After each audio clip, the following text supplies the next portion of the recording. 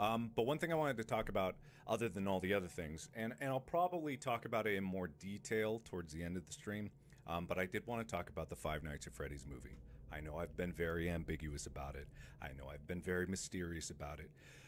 And it's kind of been a thing where I was hoping that there would have been like some schedules aligning, but I did want to say straight up, without any qualification, I am not going to be in the Five Nights at Freddy's movie. And I know that's crushing, and I know that's disappointing, and I know there's a lot of people that really were hoping that would be the case, but I wanted to say unequivocally that unfortunately I'm not. And I'll explain why. And I'll explain why. Um, look, I will explain why. And it is not anything malicious. It is not anything being snubbed. It is not anything like that. I don't want anyone to think that. So it's not anything like that. It was supposed to happen. Let's get this straight. It was supposed to happen. There was uh like time that it was supposed to occur and unfortunately, and I saw this coming a while away, but unfortunately the Five Nights at Freddy's movie and my movie, Iron Lung, were being filmed at the exact same time.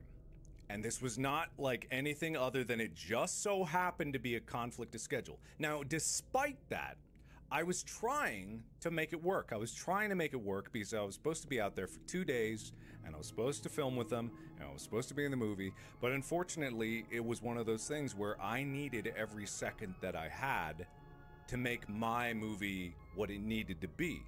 And unfortunately, even though the timing was like maybe going to line up, it was one of those things where I had to make a call. Because I wouldn't expect them to compromise the quality of their project for me. And just in the same way, I wouldn't expect them to come me. I wouldn't hope. I would hope that they wouldn't expect me to compromise the project of my movie for them. So it was one of those situations where the schedule was there, but it just didn't line up. Like there was so many things that I had to do, and flying out to go film for like a very short turnaround, come right back. It was just like those were two days that I couldn't afford to lose, and it was two days like if there was no issues with like being away for that long and traveling. There could have been another day that was there, and it was like I couldn't lose two days, let alone more, to be able to do any of that. So, unfortunately, I am not in the Five Nights at Freddy's movie, and I'm going to die because I was not watching my power. So this is um, this is just what I deserve because um, well, I'm not going to make it there. Yeah. Oh, that's the thing, though. That's the thing. It was uh no, it wasn't a matter of pay. It wasn't a matter of pay at all. There was I I, I don't think I wanted any pay. It was just not a thing that was like ever on my mind about it. I wanted to be in it. It was simply a matter of the schedules didn't line up. And the reason that I was I was trying to like be coy about it is because I was hoping that there was going to be a situation later on. I'm about to die. There was going to be a situation later on where it could happen. But given that the movie is coming out and like oh my god. Oh my god. Uh-huh. Oh my god. I've never seen that before.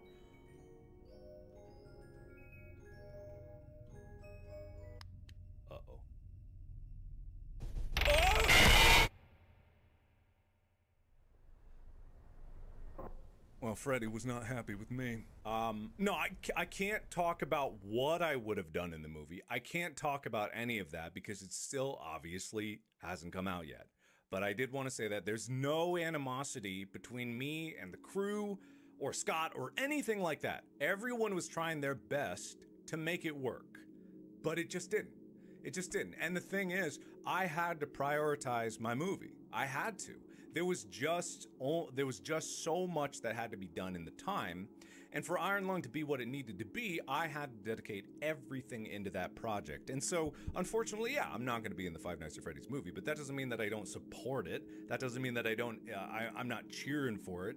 But it's one of those things where it's like, I I mentioned this like way back when when these conversations were first happening, like last about this time last year i was telling them that like hey this is really cool i would love to make this work but i am filming a project at this exact window and i don't know and this is me putting words in people's mouth i don't know if they understood the level of production that i was making like that's and I'm not saying that they should have. Like, how dare they not know what I'm doing? It's one of those situations where how could they? Because obviously, I guess I am a YouTuber. What am I really doing? But in reality, like I have a high expectation for the projects that I make. You guys have seen me make Space and all and Heist and, and the various other projects that I do. I pride myself in the quality that they that I put into them.